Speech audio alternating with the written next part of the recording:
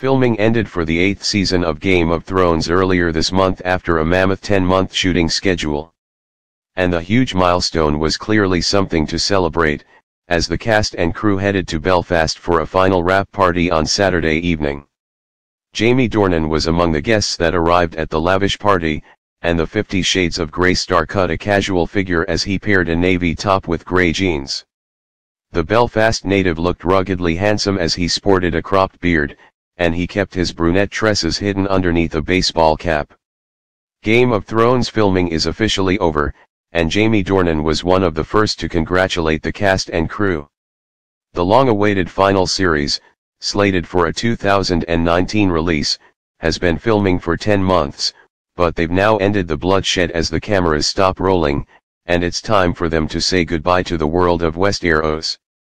The cast and crew came together in Belfast to celebrate the beginning of the end, marking the occasion with a huge wrap party. Actor Jamie Dornan, who didn't star in the show, was there to congratulate his Game of Thrones pals, and was seen arriving at the venue and posing with fans for selfies. Joe Dempsie and Hannah Murray, Gendry, and Gilly, were both seen arriving too, but after Hannah confessed to having applauded and wept at the final table read, it looked like tears had been left at the door ready for the party. Jacob Anderson, Grey Worm, and Pilou Asbæk, Euron Greyjoy were also seen arriving.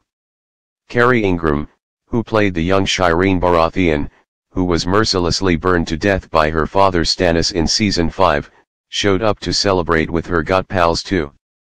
But there's still a year to wait for the final season, and Sophie Turner has promised it'll be a good one. She said, it's Game of Thrones so it's going to be bloodier and more death and more emotionally torturous than all the years before. I can tell you that there's definitely a coming together of people to fight the impending doom. There's a lot of tension between these little groups, battling for what they think is right.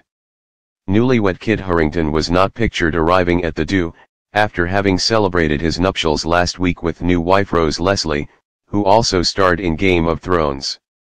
The pair tied the knot with the likes of Emilia Clarke, Joe Dempsie, Sophie Turner, and Maisie Williams in attendance, at the Scottish castle owned by Rose's family.